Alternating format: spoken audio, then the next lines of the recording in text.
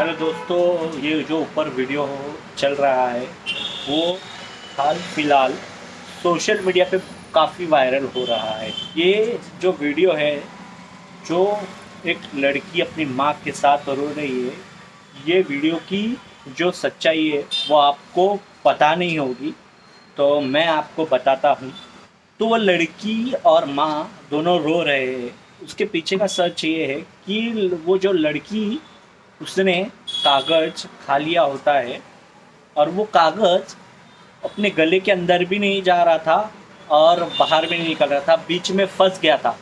तो उसके वजह से उसकी मम्मी उसे बहुत मारती है और उसे मारते मारते रोती है।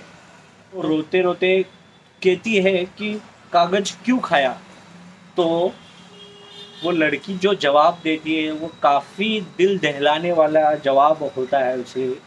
तो वो लड़की अपनी माँ से कहती है कि, मम्मी, मैं आपको कब से खाना मांग रही हूँ? आप मेरे पर ध्यान नहीं दे रही है, मुझे इग्नोर कर रहे हैं। वो लड़की बोल रही है, मुझे भूख लगी थी, उसके वजह से ये मैंने कागज़ खा लिया।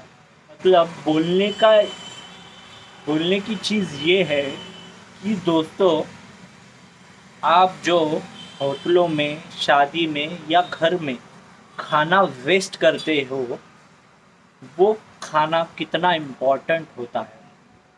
मतलब जान सकते हो आप कि आप खाने के बाद कुछ खाना वेस्टेज कर देते हो, कचरे के डब्बे में फेंक देते हो, उस खाने से कितने लोगों का पेट भर सकता है? जान सकते हो। तो गाइस मैं आपको ये बताना चाहता हूँ कि आप खाना बिल्कुल वेस्ट ना करिए, जितना खाना है उतना ही लीजिए, जितना खाना है उतना ही खाना बनाइए। वो खाने से किसी और का पेट भर सकता है।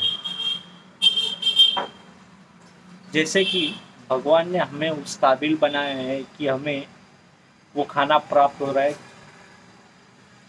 कुछ कुछ लोग ऐसे होते हैं कि वो खाना भी उन्हें नसीब नहीं होता है धन्यवाद। ये वीडियो अच्छा लगा रहेगा तो प्लीज़ गाइज़ काफ़ी शेयर करना और लाइक और सब्सक्राइब तो ज़रूर करना। Thank you so much.